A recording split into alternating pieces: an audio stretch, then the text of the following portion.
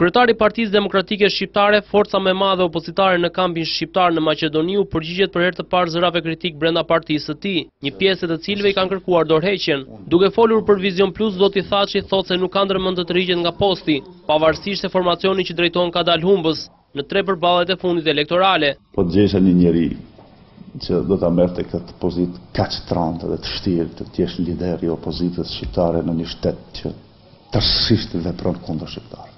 Kjo është një pozitë shumë e randë, po njerëzit një pjesë nuk e kuptojnë. Sigurisht se nuk e kam ndërmend të tërhiqem prej kësaj beteje kombëtare, jo politike, Kam mirëkuptim për ata që thuajnë se ti i ke humbur zgjedhjet dhe duhet të tërhiqesh. Kjo është e vërtetë. Mirëpo, katërcipërisht u vërtetu se unë jam lideri i pakontestueshëm i opozitës shqiptare. Kreu i PDSH-së shton se do të provojë bashkimin e gjithë spektrit opozitar në betejën e radhës politike. Gjithë sedrat që mund t'i kem, do t'i hudhi. Maksimumin do të bëj që të bashkohet ky front opozitar. Zgjedhjet janë dhe për t'i lexuar, jo matematikisht, po për t'i lexuar, është një zë i popullit, i cili duhet edhe të ndëgjohet. Të kishim qenë të gjithë bashkë, do kishim fituar zgjedhjet.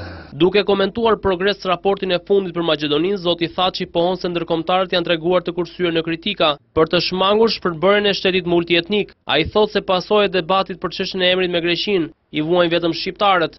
Unioni Evropian ka një frikë të realt, se nëse goditet qeveria e Maqedonisë fort, me fjalë të forta, këtu rrezikohet shteti.